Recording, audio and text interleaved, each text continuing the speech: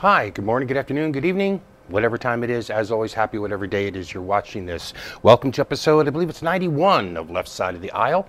Uh, I'm your host. My name is Larry Erickson. For the next eh, almost half hour, I'm going to be your ranter and raconteur. I'm going to be talking about things important to me, I think deserve your attention. As always, comments, questions, reactions, whatever, can be sent to me directly. In fact, they should be sent to me directly. My email address is whoviating, that's W H O V I A T I N G, at AOL.com. Uh, and um, you can send me email. Uh, if you do, please uh, include something like, uh, you know, left side of the aisle, your cable show, or something like that in the subject line so no, it's not spam. Uh, I do answer my email. Sometimes little slow about it, but be patient. So I do answer, actually answer it. And uh, if you didn't catch the email address, my website, Lotus Surviving a Dark Time, will be up around somewhere around there a couple times during the show, and you can get the email address directly from there. Okay, with those uh, introductions out of the way, we're going to start off with uh, plunge right into our regular weekly feature, the outrage of the week. Um, this actually is something that uh, raises a little over a week ago that raised this. Um, that was Jan- uh, January 8th, to be exact. Uh, this is the that, that Fox News host, Bill O'Reilly, who um, he is the man with the world's most perfect initials because no matter how you abbreviate his name, it comes out as either B.O. or Bohr, whichever. Any event, Bill O'Reilly opened his January 8th show with this aborting babies at taxpayers' expense. He then went on to declare that he and his crackhead, crack, crack staff, um, had uncovered what may be a major violation of federal law. See, the Hyde Amendment, that, that moldy monument to right wing nuttery, forbids federal tax dollars from being used to pay for abortions. Okay, so what's the problem? Oh my God, Planned Parenthood gets federal funds. Okay, so what's the problem? Well, Mr. B.O. says, I'm quoting him here Planned Parenthood says it doesn't use that money for abortion purposes, but that's hard to believe. In 2011, Planned Parenthood performed 334,000 abortions, close to half of all the abortions performed in the USA. Planned Parenthood will tell you that they perform prenatal services, but in 2011, it's estimated that fewer than 30,000 women received prenatal care from the organization. He went on to call Planned Parenthood an abortion mill and an agency that specializes in abortion. He demanded a congressional investigation of the group's funding and what could be a gross violation of federal law, he said. All right, now, first off, 334,000 is actually slightly over a quarter of all abortions performed in the U.S. It's nowhere near half. Uh, more to the point, Planned Parenthood would probably perform fewer abortions at a smaller percentage of the total if it wasn't for the fact that so many states and so many domestic terrorists are trying to make sure that no legal abortion clinics exist anywhere in those states. But even more to the point, even more to the point. Uh, yes, fewer than 30,000 women receive prenatal care through Planned Parenthood. But 4.5 million got services involving STDs, sexually transmitted diseases. 3.4 million got contraceptive services, and 1.3 million got services related to cancer screening and prevention. In fact, about 97% of Planned Parenthood services have absolutely nothing to do with abortion, except in the way that um, having contraception prevents unwanted pregnancies and so reduces the number of abortions. And in fact, the feds provide only about 45% of Planned Parenthood's funding, and a lot of that is not any kind of grant. These are payments for services provided under Medicaid, which obviously can't include abortions because if it did, the government wouldn't pay the claim. So the question then is could Planned Parenthood provide 3% of its services with well over half its budget? Yeah, I think so too. Yeah, I do. I, here's the thing you need to understand it's attacks on Planned Parenthood. You, you need to understand that these attacks ultimately, really, they're not about abortion. They're not. Uh, th- that is, they're not about a woman's right to choose an abortion. They are about a woman's right to choose, period. Uh, they're about women's autonomy. They are about women's right to control their own lives. They're about women's right uh, to be involved in society, about women's role in society. This, these attacks on Planned Parenthood are actually part and parcel of a way of thinking, or more exactly, a way of not thinking, a way of not thinking that looks back at the 1950s and think that was too advanced. George Will who is regarded as the great intellectual of the conservative movement. George Will once wrote in a syndicated column that, and I'm quoting him here exactly, back to 1900 is a serviceable summation of the conservative goal. Uh, the attacks on such an established and, frankly, establishment group as Planned Parenthood are just more proofs of the truth of his admission. Uh, and as for Mr. Body Odor, bearing in mind that a good definition of a lie is a statement made with the intent to deceive, uh, Bill O'Reilly has just again proven himself to be a notorious, serial, outrageous liar. All right, we're going to move on from there. Uh, you may have heard something about this, but you probably don't know the whole story. Aaron Swartz is dead. He hung himself in his apartment on January 11th. He was 26. Here's what you should know about Aaron Swartz. He was something of an internet wunderkind. At 14, he co developed something called uh, a really simple syndication, or RSS. And if you're online and you have a blog and you want to distribute it, or if you're online, use a newsreader, or if you use any of a number of other things, you very likely are using RSS to do it.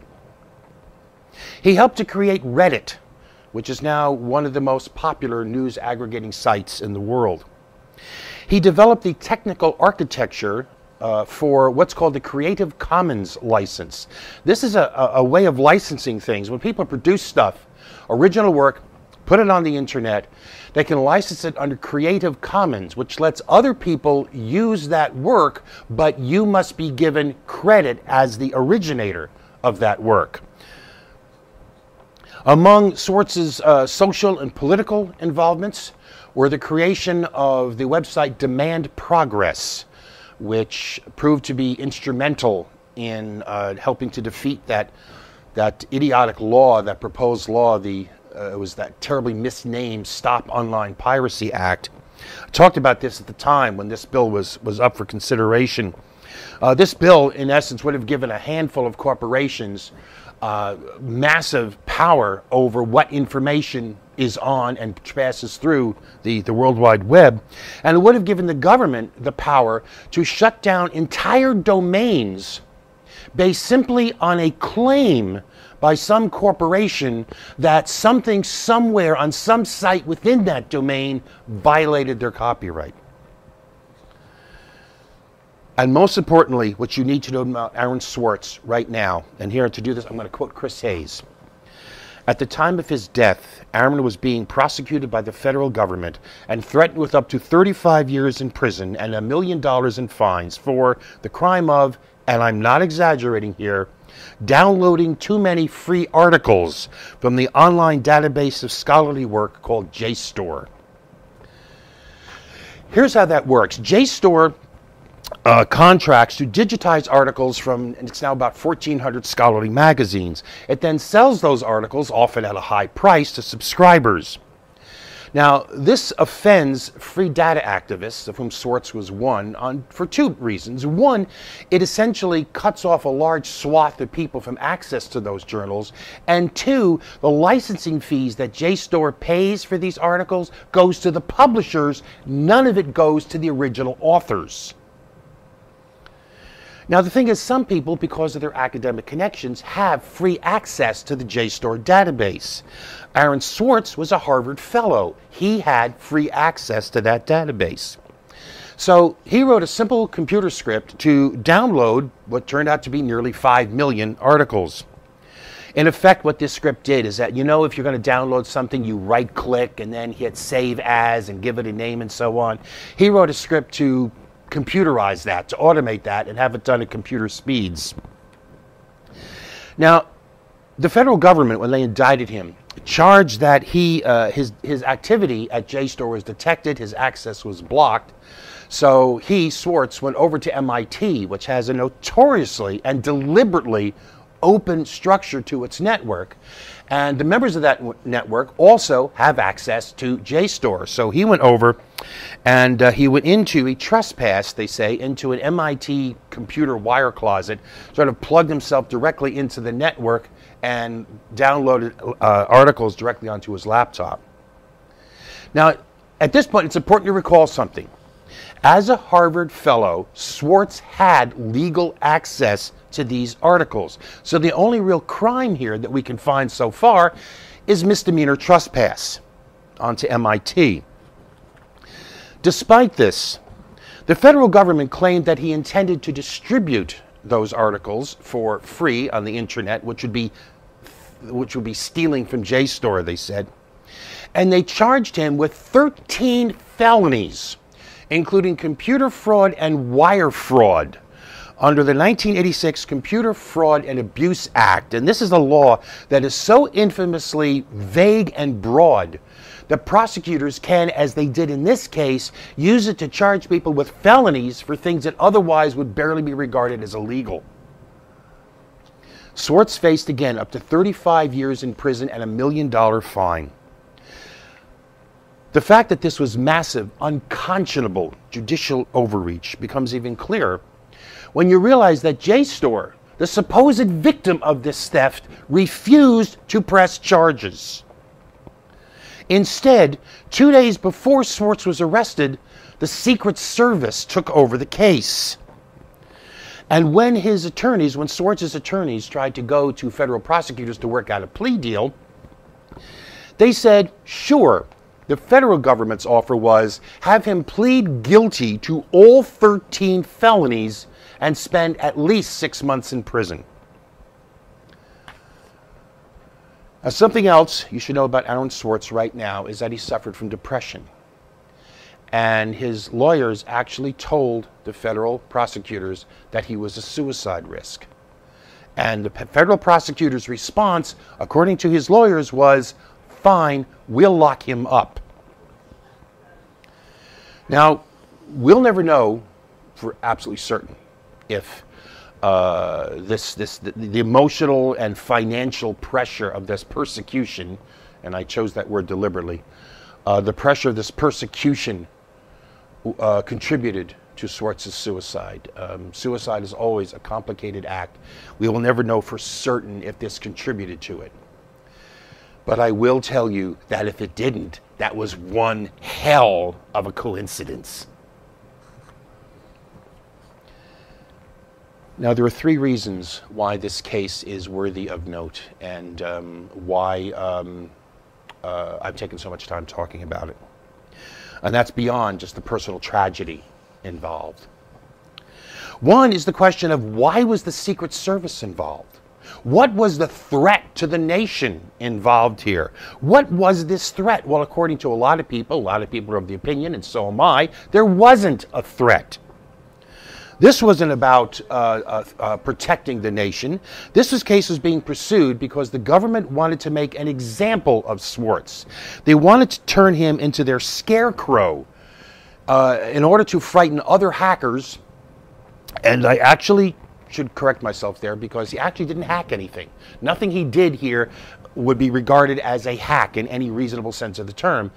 But they wanted to turn him into their scarecrow in order to frighten hackers into not challenging corporate and government control of information on the internet.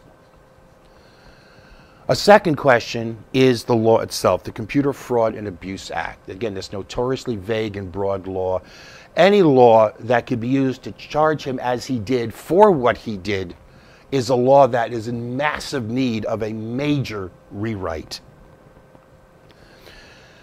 And the third is the issue of prosecutorial abuse. uh, or in the words of a, of a statement that Swartz's family and his girlfriend put out after his suicide, referred to a criminal justice system rife with intimidation and prosecutorial overreach. The issue of prosecutors being able to bring down, in essence, the entire weight of the federal government on some individual for some reason other than justice, for some agenda other than justice, but something more involved with, with power or revenge or just plain showing you who's boss, this whole issue needs to be addressed. And actually, there's one more thing. There's actually a fourth thing. And again, this is the reason I actually brought this up. This is the reason I spent so much time on this. The federal prosecutor in this case, the, the, the actual prosecutor, the U.S. Attorney for the District of Massachusetts, is someone named Carmen Ortiz. The word is that Carmen Ortiz is thinking of running for governor. If she does, I want you to remember this case. I want you to remember how she was prepared to throw aside proportionality, to throw aside humanity, to throw aside any reasonable sense of justice in favor of pursuing an agenda of raw government power. Aaron Swartz, RIP. We're going to take a break.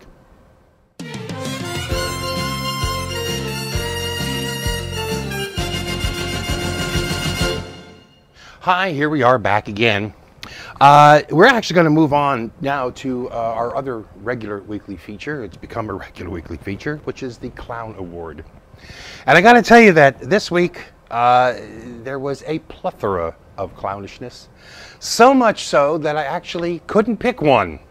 So we have a trifecta of clownishness this week.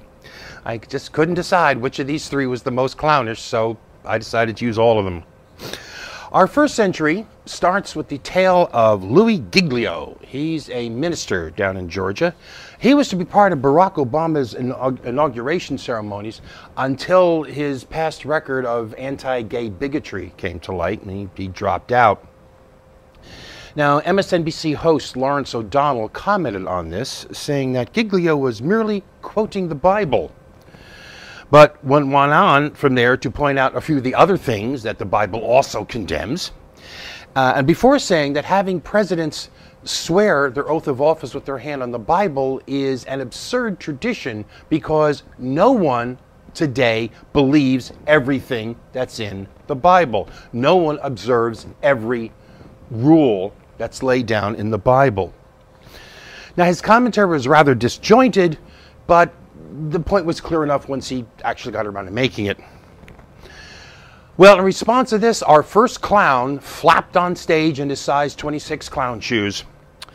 His name is Bill Donohue, and he's the notoriously homophobic president of the Catholic League. Last Friday, in response to O'Donnell, he proposed that instead of using the Bible, that Barack Obama swear the oath of office with his hand on a copy of Das Kapital, which of course is Karl Marx's famous analysis of political economy. Yeah, well, clowns are never known for their subtlety. Donohue also defended Giglio, saying the pastor's only crime was being a Christian.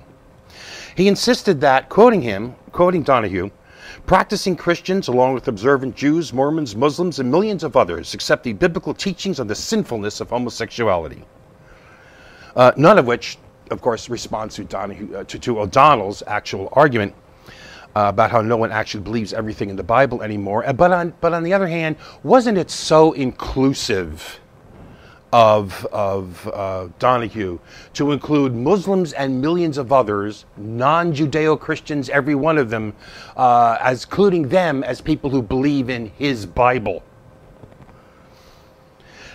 Thing is, unhappily for Donohue and the rest of his ilk, it seems that fewer and fewer people, at least in the U.S., agree with him on this. According to a survey done in November for the conservative Christian ministry Lifeway, just 37% of Americans now say that they believe that homosexual behavior is a sin. That is a 7 percentage point drop since a year before. Meanwhile, those who say it's not a sin went up two points to 45% a clear plurality, and that is a nine percentage point turnaround in just one year. Um, it is always fun when the, when the clown finally gets the pie in the face, isn't it? Okay, our next clown starts with a reminder. Uh, remember Todd Akin? He was the GOPper uh, senatorial candidate who uh, lost his election, at least partly because he insisted he insisted it was almost impossible for a woman to get uh, uh, for a, a woman uh, a raped woman to get pregnant because if it's a legitimate rape, the woman's body has a way of shutting that whole thing down. Remember him? Well, GOPper Representative Phil Ging, uh, uh, uh, Gingrey does. Phil Gingrey, and um, he agrees with Akin. Gingrey, a former OBGYN who is actually co chair of the House GOP Doctors Caucus, defended Akin at a recent Chamber of Commerce breakfast. Uh, because I've delivered lots of babies and I know about these things, he said, which strikes me rather like somebody saying that they know all about how gasoline is refined because they pumped lots of gas. And as if to prove that very point, uh, Gingrey went on to relate how he would tell couples who were having trouble conceiving to just relax, drink a glass of wine, and don't be so tense and uptight. Now, okay, look, it is true that physical or emotional stress can interfere with a woman ovulating. That's simply true. It's also true that this has nothing to do with rape, and it has nothing to do with what Akin said, which is about a woman's supposed magical ability to prevent a pregnancy in the wake of a rape by shutting it down. And it's also true, by the way, that a pregnancy from a, from, from a rape is as likely as any other single act of sex. It's about somewhere between 3 and 5% chance of getting pregnant from any single act. And it's the same for rapes as it is for anything else. This is just complete nonsense. Um, and by the way, just to confirm his clown status, at that same breakfast, Gingrey also uh, defended former GOPper Senate candidate Richard Mourdock, who said in October that he opposes legal abortion even in the case of rape because uh, if a woman conceives from rape, it's something that God wanted to happen.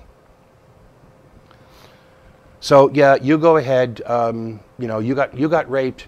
Yeah, the thing to do is go ahead, um, go through pregnancy go through childbirth um, because, yeah, God's will. Remember what I said earlier about the question of abortion actually going beyond abortion to being about a woman's right to choose, period? Clowns like Phil Gingrey help make that point for me. Okay, our last clown of the week Earlier in the show, I had one Fox News host, Bill O'Reilly, being our outrage of the week. So it's only fair and balanced that another Fox News host be one of our clowns of the week.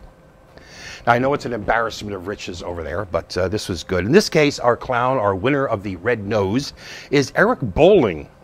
On January 9th, he accused some school textbooks of pushing the liberal agenda for teaching an algebra lesson about the distributive property in math. Now, in case you've forgotten your Algebra 1, uh, the distributive property is about how addition and multiplication sort of overlap. Let's put it this way. Since 15 equals 10 plus 5, 6 times 15 is the same as 6 times 10 plus 6 times 5. Okay, that's what it means. Well, in this case, uh, the worksheet was provided by a company called Scholastic, and it has a picture of a girl with a bag of money that says distribute the wealth. That was enough to get Bolling off onto a rant because apparently math is a liberal conspiracy. He wasn't alone for long, by the way. Co host Kimberly uh, Guilfoyle declared that the algebra worksheet had put her on high alert to look for the liberal agenda in her six year old son's curriculum. Co host Dana Perino, remember Dana Perino? Remember Dana Perino? She was George Bush's press secretary, who in 2007 admitted that she was, when she was asked about it, she had no idea what the Cuban Missile Crisis was. And in 2009, she claimed that there were no terrorist attacks on the United States during George Bush's presidency. which is true if you ignore the anthrax letters and, oh yeah, 9 11. Anyway, she claimed on the show, she claimed to gripe about some effort somewhere to stop children from playing cowboys and Indians on Thanksgiving. And I have no idea where the cowboys on Thanksgiving part came from. But she said to prevent kids from playing cowboys and Indians on Thanksgiving because experts say the historic enemies of Indians were not cowboys, but the U.S. government. And co host Greg Gutfeld, I'm wondering how many co hosts there were here, asserted everybody has anecdotal evidence of this hideous liberal manipulation. I think the only way liberalism can survive is through indoctrination, so get them while they're young, he said. He also said, a lot of this comes from teachers. They get their news from the Huffington Post and their antiperspirant from a health food store. This is the way they live. I have no idea what that's supposed to mean, and I think he doesn't either. Still, not to be outdone by his never ending role of co host, Bolling ranted that his son's history textbook was also in on the plot. Apparently, it covered the Iraq War, and, and it, the book said, I'm quoting, eh, the, eh, this is what Bolling said. They were very, very liberally biased, saying George Bush went in there because he heard there were weapons of mass destruction and none were found. It was a very liberal bias to the history books. Which only goes to prove that, as the people say, reality, along apparently with math, has a liberal bias. All right, I got two minutes left. And um, not nearly enough time to talk about this, but there's something I want to say. This is Wednesday. This is the day that the White House is supposed to release uh, its legislative agenda on guns. This is when they're going to release their proposal on what they want to do about guns. I don't know what it is. It hasn't been released yet at the time I'm doing this. And there's way, way, way too much to talk about here. But there's something that needs to be said now. Already, already. They are talking about gun control groups are already saying that well you know we'll, we'll maybe maybe we'll get the um, the background check but well, we're probably not going to get anything else. Already democrats in congress are going eh well you know assault guns eh it's not going to pass. Harry reid is already saying that um, the senate's going to focus on what will pass the house. In other words nothing this is another example of what I call uh, preemptive capitulation. They're giving up before the battle even starts. Well, I'm going to tell you something, Harry Reid, and all you congressional Democrats, and you Republicans, and all the rest of you in Congress. There is blood on your hands. Any one of you that does not vote for, advocate for, push for the strictest possible, the strictest possible restrictions on guns has blood on your hands, and I call you an accessory to murder. That's it. I'm out of here.